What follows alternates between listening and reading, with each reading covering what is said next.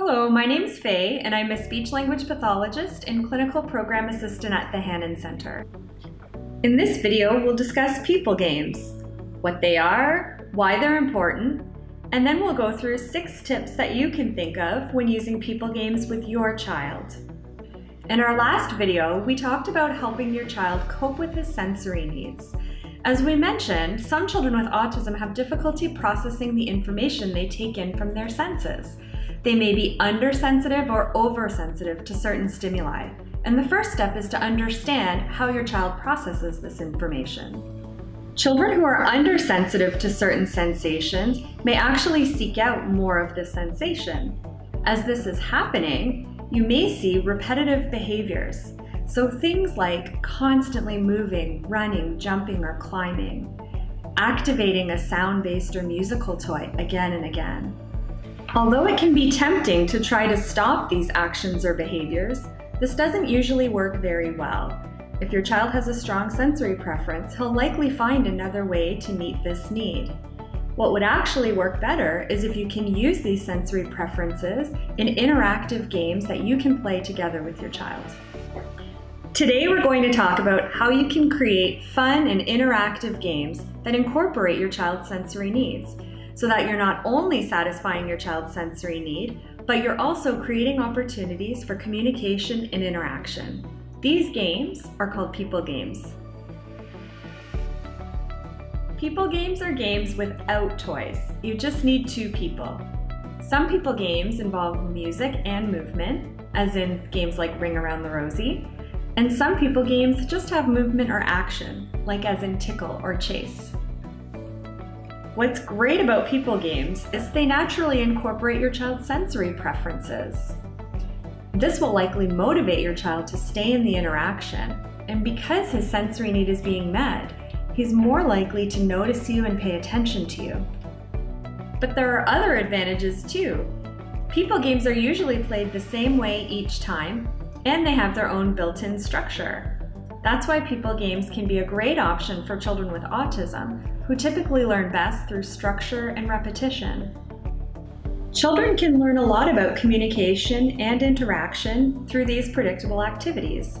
In people games, children can learn about how to engage and notice and respond to others, how to take turns within this back and forth interaction, and they can even learn how to imitate others' actions, gestures, sounds, or words.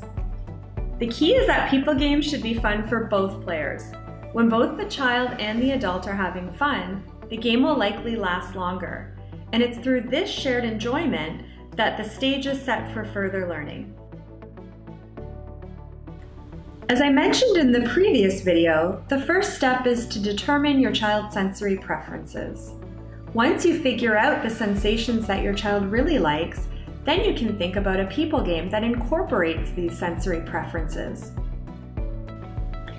Here are just a few examples, but keep in mind that it's always best to consult a professional about what might work best for your child.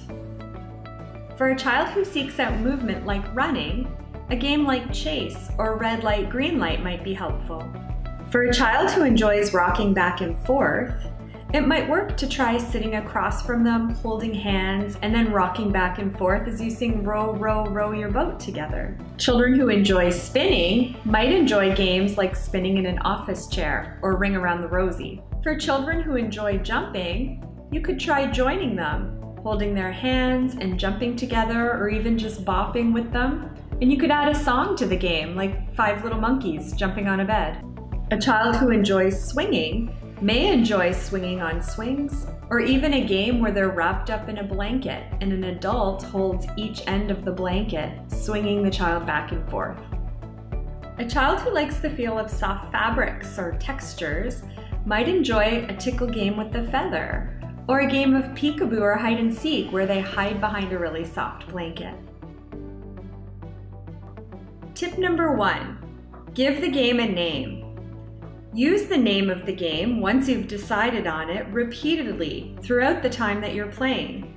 And if your child's starting to talk, he may even eventually start to say the name of the game. Tip number two, play the game the same way each time. When you repeat the same actions and words, this adds structure and predictability to the game, and it helps your child learn what will come next, and maybe even what he could say or do in the game. Tip number three, play the game several times. Don't be afraid to play the game over and over if your child likes it.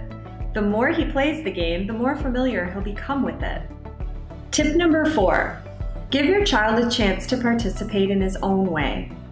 Once your child's familiar with the game, create opportunities for him to do or say something to keep the game going. For example, if you're swinging him in the blanket, pause every once in a while and see if he'll say something to keep the game going or maybe do something like give you the corner of the blanket. Tip number five, help your child send a message. If you pause during the game and your child doesn't give you a cue to keep the game going, like saying something or doing something, you can help him out by giving him a hint. For example, you could model the word go. You could point or gesture to the blanket. Or you could even physically help him hand you part of the blanket to keep the game going. Tip number six, end the game the same way each time.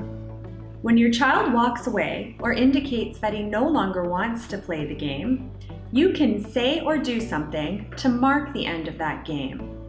You could, for example, say all done, sign or use a gesture to show that you're finished the game. And by ending the game in the same way, you're giving your child a model that he can eventually use himself to end the game. Sometimes it might be hard to get a people game going with your child. It may be that you've thought of the sensory preferences and thought of a game that might work, but it's really just not working with your child. And sometimes it's actually hard to think of a game that incorporates your child's sensory preferences. It's always helpful to consult a professional who can help you work specifically with your child. In particular, speech language pathologists with experience and training in Hanen's More Than Words program have the experience working with families to use people games as a context for learning. If the people games are based on your child's interests and preferences, he'll be more likely to stay in the game longer and enjoy it.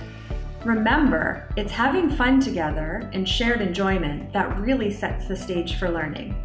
So your child will be more likely to notice you, interact, and communicate with you in these fun activities. Thank you for watching, and feel free to post a comment to let us know how it went. For more information about communication in children with autism, visit the Autism Corner on the Hanen website. Have a great day.